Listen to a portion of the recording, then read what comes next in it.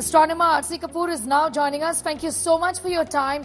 Talk to us a little about the significance of uh, this very picture, this very visual, beautiful as it is, uh, with uh, and clear too, very very clear of the exact moment when Pragyan leaves the, Vik- uh, the lander Vikram there, which was attached to its belly, and the kind of work that it already is doing, sir. Yes, it's the most beautiful uh, visual you have presented here, and I think the cutest vehicle of India. A rover is, uh, is uh, coming down the ramp, and I think our automobile industry can take a cue here.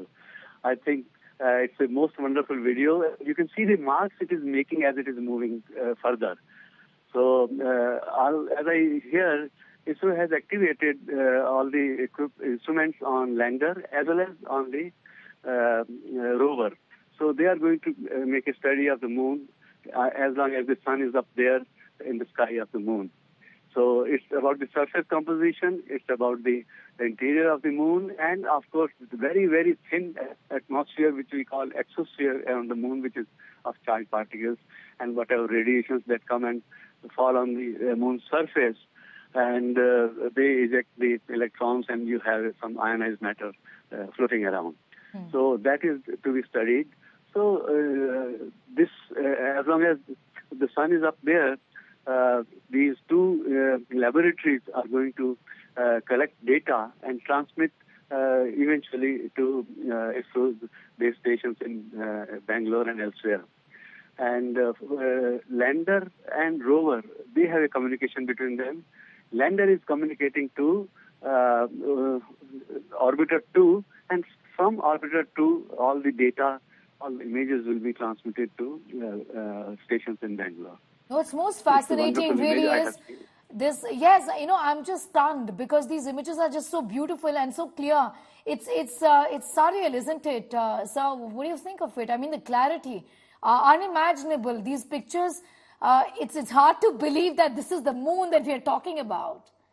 Oh, Certainly, yes, because you see, it's all very gray, and uh, you are seeing the colored images. So, and uh, moon surface is like that.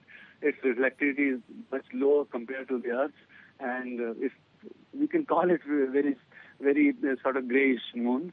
And you, you see the uh, solar panel also; it's up there uh, in the uh, in, in the rover. Yes, you can So see that. and you can see the long shadows because the sun inclination is very low.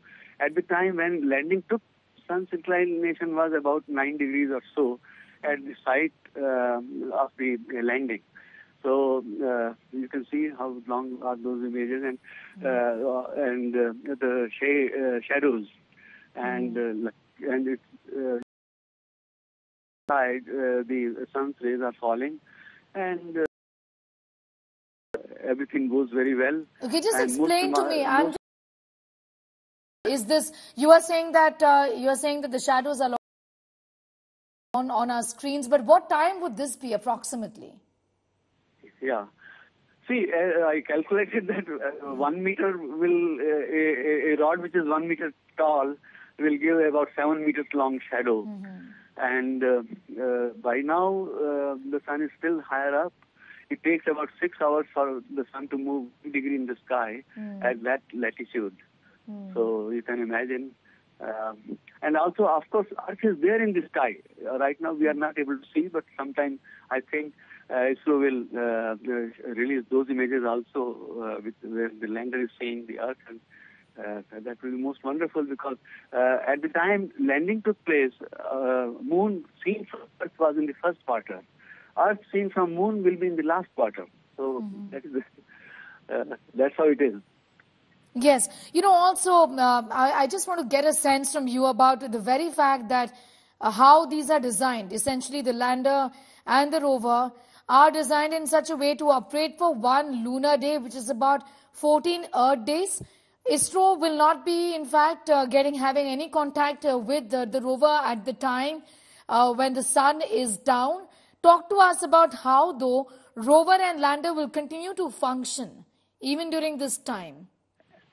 Actually, uh, uh, is sure of uh, the functionality of the uh, instruments as long as the sun is up there. Then 14 and a half days of uh, uh, the night uh, on the moon. and uh, that I think begins on 4th September, and then next uh, sunrise is uh, 21st September or so.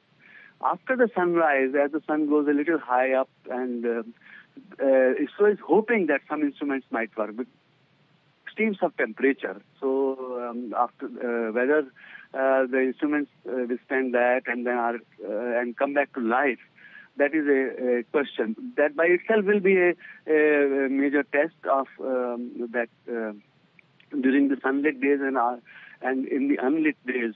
After that, what happens to the equipment? Although all the equipment is insulated using MLI, as they say, multi-layer insulators.